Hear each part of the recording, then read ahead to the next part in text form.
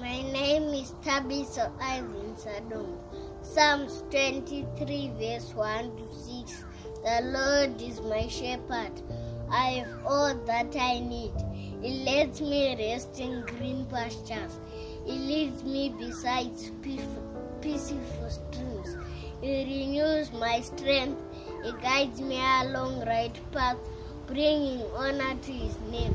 Even when I walk through the darkest I will not be afraid, for you are close beside me.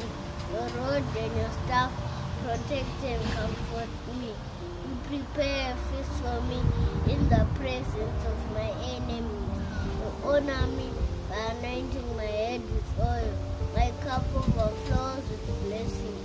Surely your goodness and unfailing love will follow me all the days of my life, and I'll live in the house of the Lord forever ever.